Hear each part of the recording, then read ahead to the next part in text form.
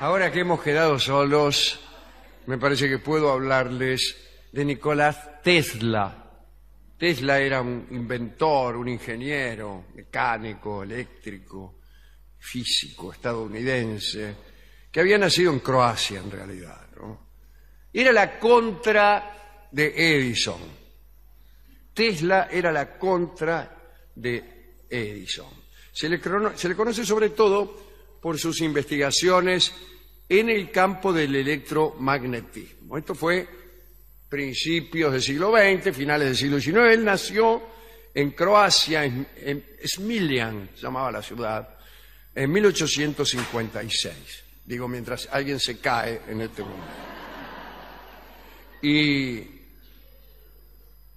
patentó un montón de- de inventos y básicamente fue el campeón mundial de la energía eléctrica alterna, en contra de la de Edison, que era la continua.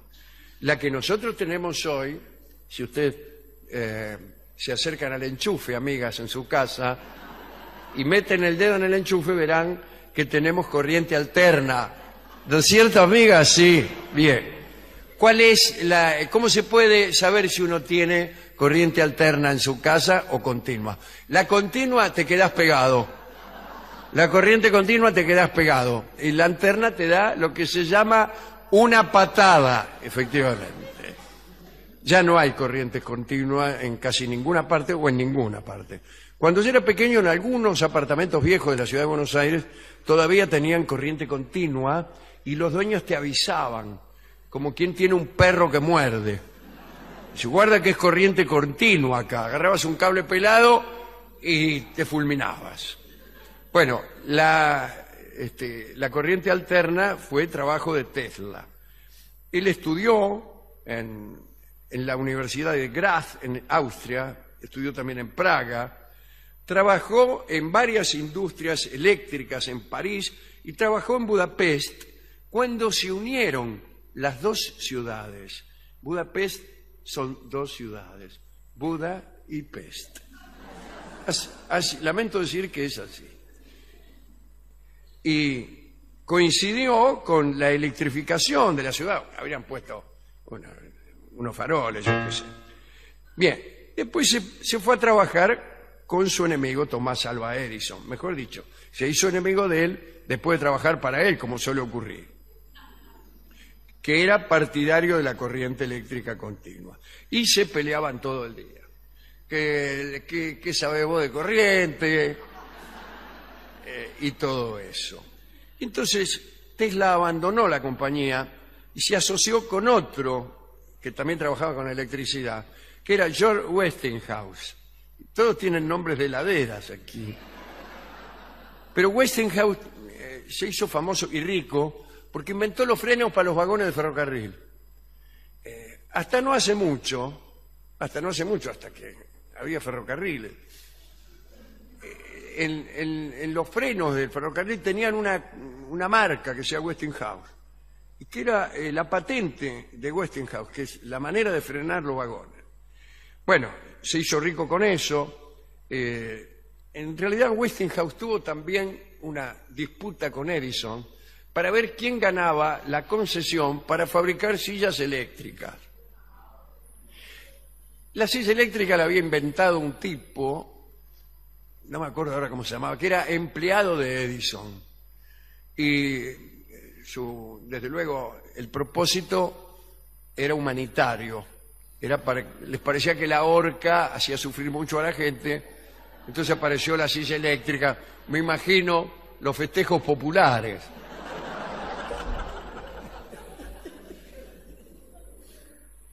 Pero, este, algún día hablaremos de eso, ¿no? Porque fue una cosa siniestra. El, tipo que probaba las sillas eléctricas, las probaba con animales y, y delante de los periodistas. Entonces venía y electrocutaba cinco o seis perros, una porquería. Bien, no importa, pero ese era Westinghouse. Al final ganó Westinghouse. Y las sillas eléctricas las fabricó Westinghouse porque parece que era mejor eh, la corriente alterna también, incluso para la silla eléctrica.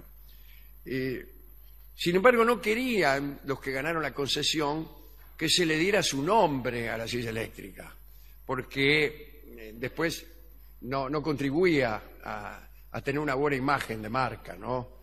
Sillas eléctricas Edison, un alarde de calidad. Bueno, pero no importa. Tesla se, se asoció con Westinghouse y invent- inventó ahí un montón de cosas, transformadores, motores, y, ganaron juntos con Westinghouse la batalla de la energía porque el transporte de corriente alterna, que es más barato y sencillo, prevaleció. Tesla fundó en Nueva York un laboratorio, mejor sería laboratorio, de investigaciones, y ahí empezó. La verdad es que tenía un carácter muy ex- excéntrico. Estaba medio sonado, ¿no? Y eh, siempre decía que otro le había robado algún invento. Y sus seguidores decían que él era el verdadero inventor de casi todas las cosas que habían inventado los demás. Queda muy bien en la historia de las invenciones decir que todo lo inventó Tesla y después le chorearon la patente. ¿no? Y los aficionados a las teorías conspirativas tienen como ídolo a Nicolás Tesla. Y le atribuyen inventos y cuando no alcanzan los inventos le atribuyen cosas. Dicen, por ejemplo, que inventó la radio. Eh, bueno, todos creemos que fue eh, Guillermo Marconi, un italiano, ¿no? Sin embargo, todos lo- los, conspirativos dicen fue Tesla. Y Marconi simplemente, ¿quién jugó mejor sus cartas? Marconi manejó a la prensa, se alió con Edison y en 1901 consiguió transmitir la letra S en código Morse a través del Atlántico. Son tres puntos nada más, pero a través del Atlántico. Bueno, eso los seguidores de Tesla dicen, fue Tesla. Dicen también que inventó el rayo de la muerte, que era un nombre espectacular para un invento, que era un arma, él la llamaba Teleforce, que podía aniquilar a una flota enemiga de 10.000 aviones a una distancia de más de 320 kilómetros. Eh, nadie vio nunca en acción al rayo de la muerte, eh, pero todos dicen que lo inventó Tesla. Es cierto que inventó la corriente alterna, o por lo menos esa es la que le debemos a Tesla. Cuando enchufamos algo, buenas tardes señora, se lo debemos a Tesla. Gracias, Nicolai. Está la bobina de Tesla, que también la debe haber inventado él, porque por lo menos lleva su nombre. Un aeroplano de despegue y aterrizaje vertical, vale decir, el helicóptero. Todos dicen que fue un español, Juan de la Cierva. Sin embargo, no. Juan de la Cierva fue el que mejor manejó sus cartas. Le choreó los planos a Tesla, estoy seguro. Además de inventar cosas que otros habían inventado antes, Tesla tenía su pensamiento científico. Creía que existía el éter todavía. Ustedes saben que hubo unos experimentos de los señores eh, Morley y Michelson que aseguraron que el éter no existía, pero Tesla siguió pensando en que sí el éter existía. Despreciaba la teoría de Einstein y decía que el espacio no podía curvarse ni tener ninguna propiedad porque no era nada el espacio. Tiempo antes, en 1896, Tesla había sugerido la posible comunicación con marcianos, utilizando el principio de propagación de ondas eléctricas. Eh, también se hizo famoso por su comportamiento un, un tanto extraño.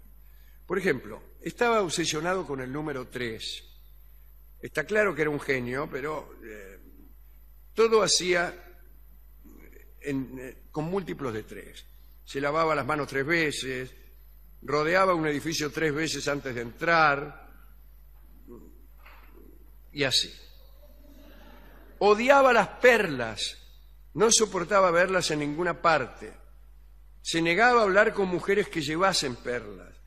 Nadie sabe a qué se debía esta versión, pero también. Mantuvo el celibato. Bueno, eso es un rasgo de cordura. El matrimonio no estaba hecho para Tesla y él mismo decía, No creo que podáis nombrar muchos inventos importantes que hayan sido ideados por hombres casados.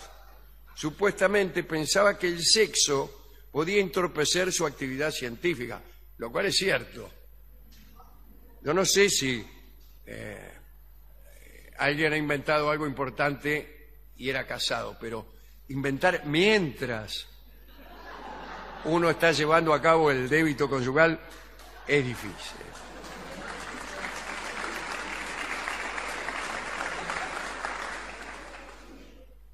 Vivía en una habitación de hotel. Bueno, no hay que estar tan loco. Pasó de todos modos su última década alojado en el Hotel New Yorker, en la habitación 3327, una suite doble en la planta número 33, múltiplo de tres, desde luego. Amaba las palomas. Eh, él buscaba palomas enfermas y las llevaba a su habitación del hotel. Y una de ellas lo enamoró. Escribió, quería esa paloma al igual que un hombre ama a una mujer y ella también me amaba a mí. Me daba razones para vivir. Los pájaros son maravillosos. También era un poco canalla, porque creía en la eugenesia. Pensaba que algunas personas sencillamente no eran adecuadas para tener descendencia.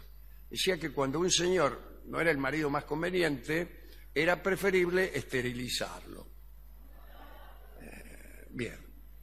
Y decía, en el año 2100 veremos la eugenesia universalmente establecida. Bla, bla, bla, bla, bla, bla, bla. El único método compatible con las nociones de civilización para evitar la reproducción de los ingratos es esterilizarlos. Eh, bien, ciertamente era un tipo difícil. Nunca gestionó sus inventos con habilidad comercial. Siempre le pasaba algo. Al final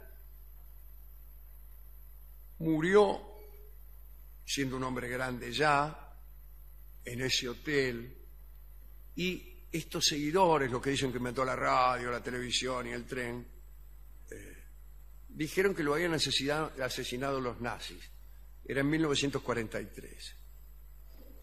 Eh, pero se murió igual.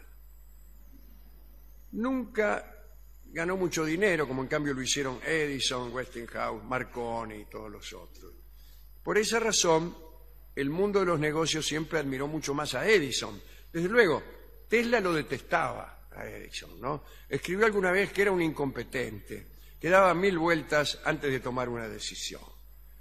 A las personas soñadoras les resulta más simpático Tesla, pero el mundo es de los Edison.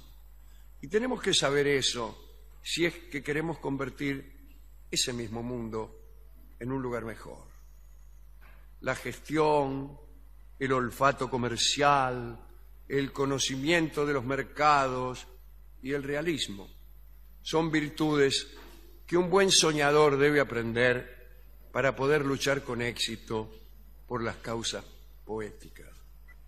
Hoy recordamos a este hombre de pinta porteña, engominado, bigotito, parecía Florén del Bene. Hemos preparado una canción que se refiere a su amor por los pájaros, pero también a su obsesión por el número tres. Así que tenemos tres pájaros, tres pequeños pájaros. three little bells. Oh,